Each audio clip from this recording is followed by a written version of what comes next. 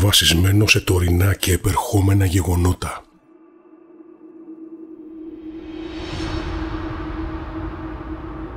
Αναφορά Ωμέγα.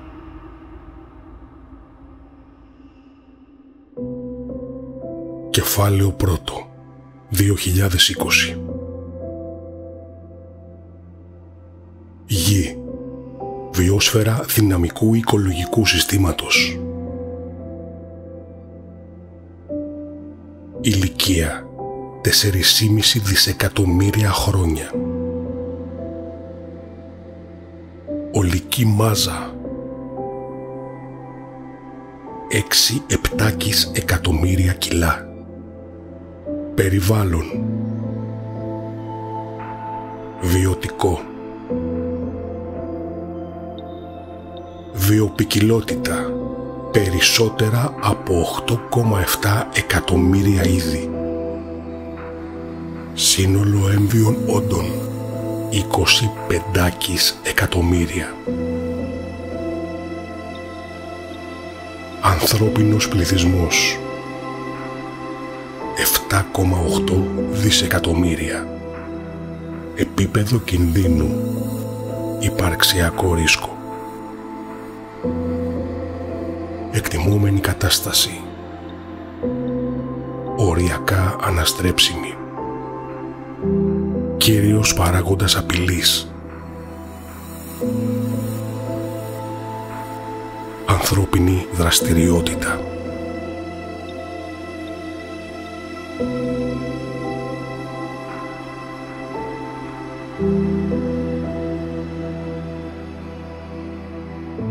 Κεφάλαιο δεύτερο Γένεση των ειδών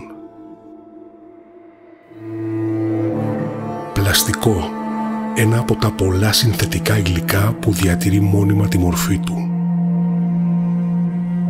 Διάρκεια ζωής 450 χρόνια έως για πάντα. Κάθε κομμάτι πλαστικού που έχει φτιαχτεί έως σήμερα υπάρχει ακόμα. Ο μέσος άνθρωπος τρώει 70.000 μικροπλαστικά κάθε χρόνο. Έως το 2050 κάθε είδος θαλάσσιων πουλιών θα τρώει πλαστικό. Τα ετήσια απορρίμματά μας σε πλαστικό μπορούν να κυκλώσουν τη γη τέσσερις φορές. Για κάθε ζώο στους ωκεανούς υπάρχουν έξι κομμάτια πλαστικού. Υπάρχουν περισσότερα μικροπλαστικά στους ωκεανούς από ό,τι αστέρια στον γαλαξία μας κοιλίδα απορριμμάτων ειρηνικού ονομάζεται ένα νησί πλαστικών στον ειρηνικό ωκεανό. Καλύπτει έκταση ίση με τρεις φορές το μέγεθος της Γαλλίας. Έως το 2050 τα πλαστικά στους ωκεανούς θα ζυγίζουν περισσότερο από ό,τι τα ψάρια. Το 100% από τις θαλάσσιες χελώνες έχουν πλαστικό στο στομάχι τους. Ένα στα τρία ψάρια που προορίζονται για ανθρώπινη κατανάλωση περιέχει πλαστικό. Το 93% των Αμερικανών άνω των 6 ετών έχουν τοξικές δυσφενόλες στο σώμα τους. Στον πυθμένα της βαθύτερης παγκοσμίως ωκεάνια στάφρου έχει βρεθεί πλαστική σακούλα. Δέκα ποταμοί μεταφέρουν το 90% των πλαστικών που υπάρχουν στους ωκεανούς.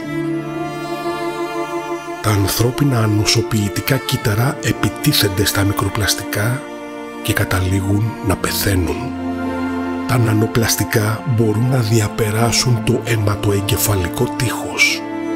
Μπορούν να διαπεράσουν ακόμα και τον πλακούντα των εμβρίων.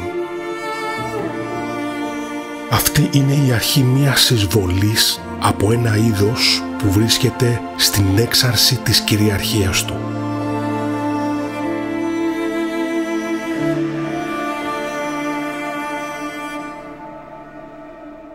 Κεφάλαιο τρίτο Αναφορά Ωμέγα. Παγκόσμιο Παρατηρητήριο Ρήπανσης Πλαστικών. Έτος 2060. Τοποθεσία Πασαντίνα, Καλιφόρνια.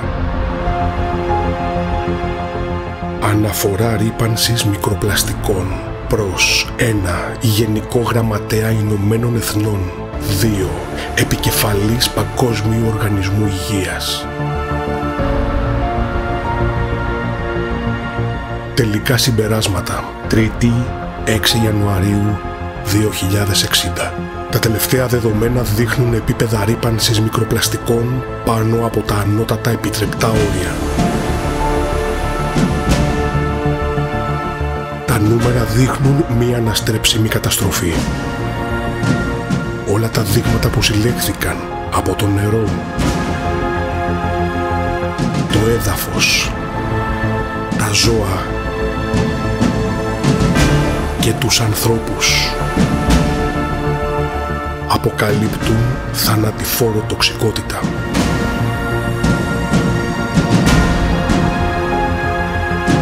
Περιμένουμε ανυπολόγιστες συνέπειες σε όλες τις χώρες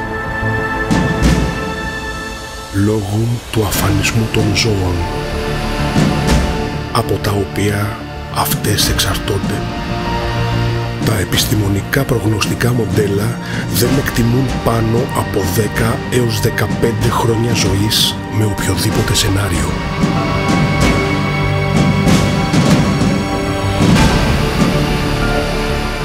Η υψηλή συγκέντρωση μικροπλαστικών σε όλα τα έμβια όντα έχει ανυπολόγιστες συνέπειες.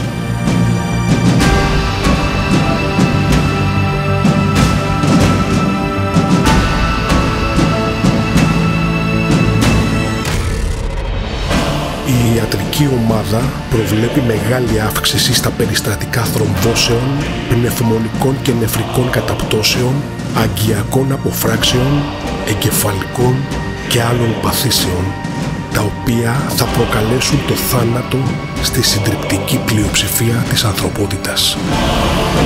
Δεν υπάρχει θεραπεία για τις λοιμώξεις από μικροπλαστικά.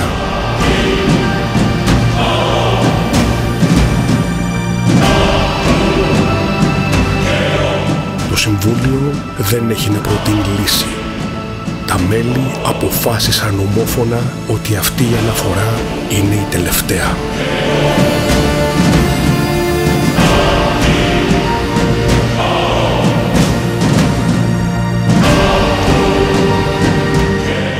Παρατηρητήριο δεν έχει πλέον κανέναν ουσιαστικό σκοπό να υπηρετήσει.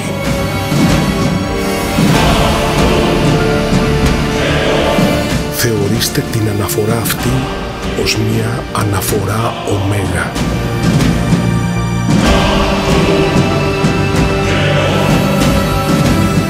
Δόκτωρ Adrian Helmsley, Διευθυντής Παγκοσμίου Παρατηρητηρίου Ρήπανσης Πλαστικών. Επίγον, 523η αναφορά. Αναφορά ωμέγα.